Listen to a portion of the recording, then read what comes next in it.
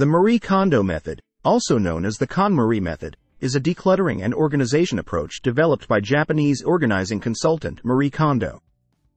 The method gained international popularity through Kondo's best-selling book, The Life-Changing Magic of Tidying Up, and the Netflix series, Tidying Up with Marie Kondo.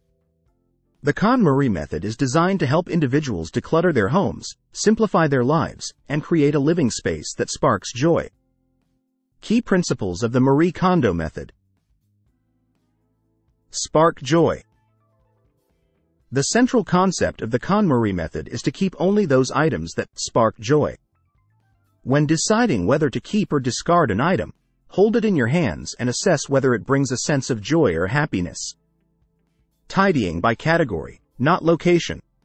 Instead of tidying room by room, the method organizes belongings by category. The recommended order is clothes, books, papers, miscellaneous items, komono, and sentimental items. This helps in systematically addressing all possessions. Discarding before organizing. Before organizing, go through each category and discard items that do not spark joy. This involves expressing gratitude for their service and then letting them go. Folding and storing clothes vertically. Kondo advocates a specific folding method for clothes, where they are folded into compact rectangles and stored vertically in drawers. This method makes it easier to see all items at once. Visualizing an ideal lifestyle. Before beginning the decluttering process, visualize your ideal lifestyle and the type of living space you want to create. This vision serves as motivation and guidance throughout the process. Gratitude. Express gratitude for the items you choose to keep and for those you discard. This mindful approach to decluttering fosters a positive relationship with one's belongings. Steps to declutter and organize your home using the KonMari method. Commit to tidying up. Make a commitment to declutter and organize your entire home. Set a specific time frame for each category and make the process a priority. Start with clothing. Begin the process by tackling your clothing. Gather all clothes from every corner of your home. Hold each item, assess whether it sparks joy, and discard items that no longer serve you. Move to books. Next, move on to books. Collect all books in one place, go through each one, and decide which ones spark joy. Discard those that you no longer need or want. Proceed to papers. Organize papers, including documents, bills, and other paperwork. Keep only what is necessary and essential. Discard or properly file the rest. Tackle komono, miscellaneous items. Address miscellaneous items such as kitchenware, electronics, and other household items.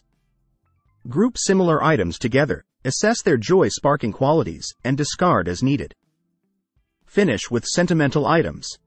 Save sentimental items for last. By this point, you will have honed your decision-making skills. Keep sentimental items that truly bring joy and consider how to organize and display them. Organize and store mindfully. Once you've completed the decluttering process for each category, organize and store items mindfully. Follow the principles of folding clothes and find storage solutions that are functional and aesthetically pleasing. Maintain a joyful living space.